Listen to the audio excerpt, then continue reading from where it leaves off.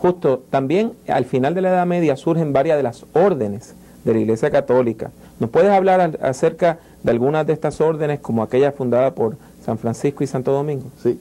Yo creo que primera cosa hay que darse cuenta de que la palabra orden quiere decir dos cosas distintas en el contexto eclesiástico.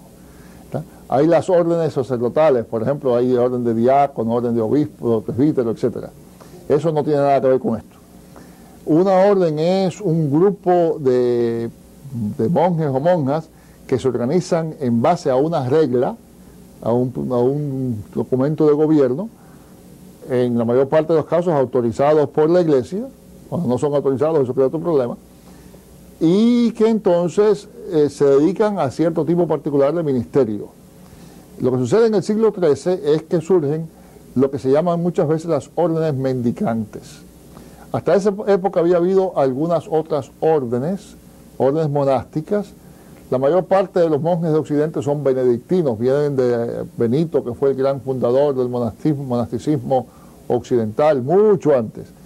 Pero había también otros grupos, los cartujos, etc. Lo que sucede con las órdenes mendicantes es que por primera vez tenemos unos monjes que en lugar de, de vivir en monasterios, andan por la calle y andan literalmente mendigando. Vamos a entender por qué cosa eso es importante. Como decía hace un rato, las ciudades empezaron a crecer, empezó a crecer el comercio. Eso también quiere decir que el dinero se vuelve más importante. La economía de la primera parte de la media es principalmente una economía de trueque. Yo tengo zapatos, hago zapatos y tú haces velas, te cambio un par de zapatos por tantas velas. Ah, tú no necesitas velas, lo que necesitas es jabón, pues entonces eh, lo que hace es que vas y cambias los zapatos míos por, por el jabón del otro señor. Y así se va manejando la economía. El dinero prácticamente no funciona, excepto entre la gente muy rica, muy rica, los grandes negocios, que no son negocios tampoco, son asuntos de tierra. lo que sucede precisamente en el siglo XII y siglo XIII es que el crecimiento de las ciudades trae el auge de lo que se llama la economía monetaria. El dinero empieza a funcionar otra vez. Porque no se puede hacer gran comercio en base a trueque. Hace falta tener un símbolo y eso es lo que es el dinero. Ahora, el dinero tiene una serie de ventajas enormes para el comercio.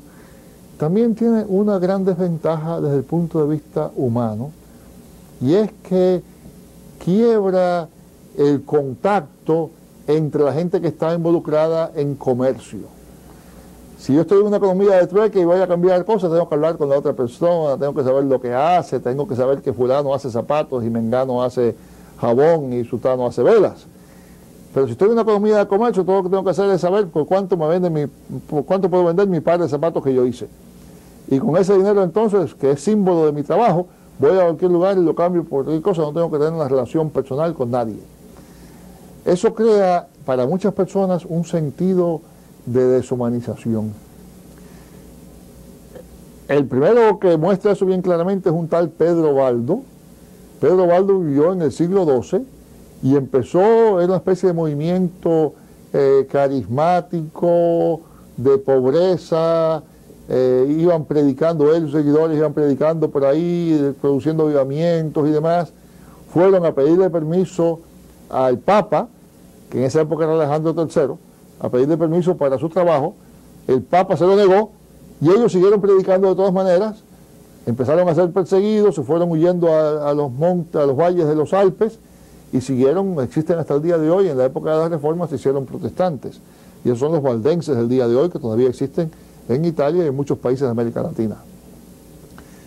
Pero la otra orden que de verdad tuvo mucho impacto fue la de San Francisco de Asís, que también era mendicante. San Francisco era hijo de un mercader, un comerciante de ropa, que era bastante rico. Lo que es más, su nombre no era Francisco nada, su nombre era Giovanni, Juan. Y le pusieron Francisco porque estaba muy interesado en lo que, sucedía en, Francia. Su padre tenía comercio con Francia y él estaba francesado. Y Francisco quiere decir eh, eh, más o menos francesito. Y de ahí salió ese apodo que se volvió después el nombre que él tomó.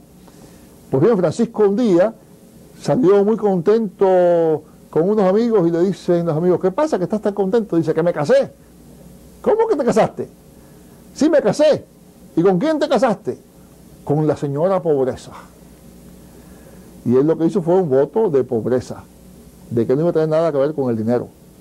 La cosa llegó al punto que el padre se molestó y un día en la, en la ciudad, en el medio de la ciudad de Asís, el padre le está pidiendo cuentas y le dice, tú no, tienes, no debes tener, tú vives a costa mía, tú vives de mí, tienes que obedecerme. Y él dijo, no quiero tener nada tuyo, se quitó toda la ropa, desnudo salió y se fue al monte. De allí salió un movimiento, también con ciertos visos eh, eh, de avivamiento, de predicación, a veces un poquito más carismático, etcétera, que fue lo que se llaman los franciscanos. La diferencia está en que cuando San Francisco fue a Roma, el que era papa en esa época era Inocencio III, aquel papa grande de que hablábamos antes. Inocencio III al principio no quiso saber nada de San Francisco. Cuentan, cuentan, que le dijo, mira, tú hueles a cerdo, ve y revuélcate entre los cerdos. Y San Francisco le dijo, sí, su santidad. Y se fue. Se revolcó entre los cerdos y volvió después más apestoso todavía. dice, padre, acabo de hacer lo que usted me mandó, ahora usted va a hacer lo que yo le pido. Y dice el cuento que Ignacio, digo, Inocencio se quedó tan asombrado de aquello que le dio permiso para la orden. Pero la orden de los, de los uh, franciscanos, que se llama en realidad la orden de los hermanos menores, fue una gran orden que tuvo un impacto enorme. Al principio San Francisco no quería ni que tuvieran libros, ni que estudiaran, ni que tuvieran dinero, ni nada. Todo eso fue cambiando poco a poco. Y después se volvieron un gran centro de trabajo, no solamente eh, misionero, de predicación, sino también hasta teológico en las universidades. La otra orden mendicante bien importante es la de los dominicos, que en realidad se llama Orden de Predicadores. Fue fundada por un español, Domingo de Guzmán, que pasó por un lugar en el sur de Francia donde había eh, gente a quien la iglesia consideraba herejes y los estaban persiguiendo y matándolos y nadie se convertía. Y él decidió que para convertirlos lo que había que hacer era predicarles y enseñarles. Y entonces organizó este grupo de gente que también iban a vivir mendigando, pero que iban a ser predicadores y desde el principio iban a ser intelectuales.